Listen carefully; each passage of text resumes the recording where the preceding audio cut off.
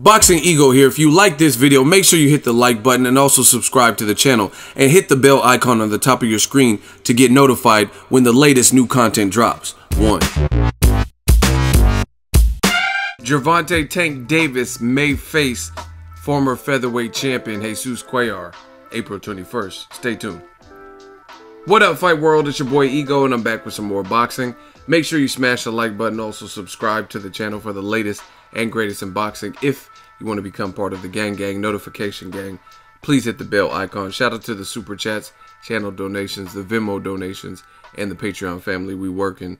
Now, this is not finalized, but Showtime up front, they had that press conference in New York in January, I believe. It was a while ago, and they announced all these fights for 2018. They announced Adrien Broner versus Omar Figueroa officially April 21st, and they said Gervonta Tank Davis was going to be on that card versus uh, to be announced opponent. Now, I heard they were trying to make Billy Dib, and I don't know what happened, but it looks like that fight has fallen apart.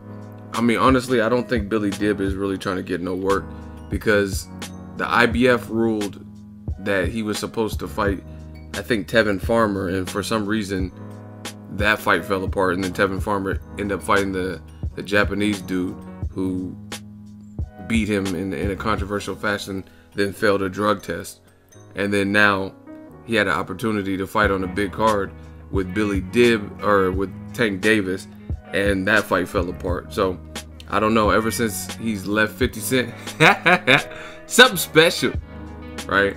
I don't really know what's up with Billy Dib's career. Again, I don't know the full details, but when fighters start showing me patterns, then you kind of have to point to to the fighter. That's I mean that's kind of what it's seeming like.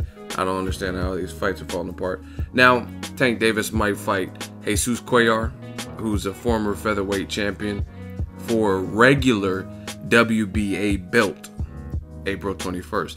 Again, this is not finalized. You can file it under Ego Rumor Mill. Surprised I haven't really heard many people talking about it. And that's the latest. I'll, I'll keep you guys updated, but I think this is going to go down. Um, my thoughts on it real quick. I like Tank Davis. He, he's a future star.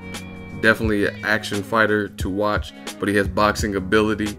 Jesus Cuellar, even though he's a former featherweight, he mentioned, I think, struggling to make weight around the Abner Mares time. He lost to Abner Mares.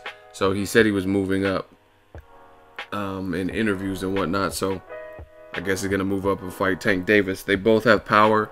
Obviously, Cuellar's power we don't really know at 130, but we'll have to see. I mean, but Cuellar's from Argentina. He's a big puncher, at least at, at the featherweight division. So that's not a it's not a bad fight. I mean, obviously it's not like Tank versus one of the top guys at 130, but in terms of a like a co-main event fight, I don't think it's a bad fight. Now, as far as the WBA, I don't understand what's up with all the regular and super belts. I mean, Keith Thurman's a super champion at welterweight, and then they just gave Lucas Matthysse an opportunity at belt, fighting a guy who wasn't even really heard of, the Taram Karam or whatever his name was from Thailand. He knocks him out, and now Lucas Matthysse is the regular champion. So I'm not sure what's going on because I'm pretty sure someone has the WBA belt at 1:30, the super version. So I thought the game plan, I thought the WBA said that they're going to try to consolidate the belts. I mean, kind of like they did with Gennady Golovkin versus Danny Jacobs. Gennady Golovkin, Triple G, was the super champion and Daniel Jacobs was the regular champion. Then they fought last year and that consolidated the belt when Triple G beat Jacobs. So I'm not really understanding. I mean, they need to start ordering some shit quick, like Keith Thurman versus Lucas Matthysse. Let Keith Thurman get his tune-up, and then he needs to fight Lucas Matthysse. I mean, he's not trying to fight Errol Spence Jr. from his own mouth. Uh, Shawn Porter and Danny Garcia, I don't know if he wants those fights, but if not, uh, the, the WBA needs to do that so we can start consolidating some of these belts. So I don't really know what happened in terms of Tank Davis because I thought he was going to try to challenge for the IBF belt but now it looks like he might be going the WBA route. I'll keep you guys posted. Let me know what you guys think. Drop your thoughts in the comment section. Make sure you smash the like button as always. Hate, comment, and subscribe. Till next video is Ego signing off. So if you enjoyed this video and want more content like this on the channel, you can show your appreciation by going to the PayPal donate button or the YouTube support button. And you can donate any amount that you feel is equivalent to the value of this video. Much more to come. Thank you guys for your support.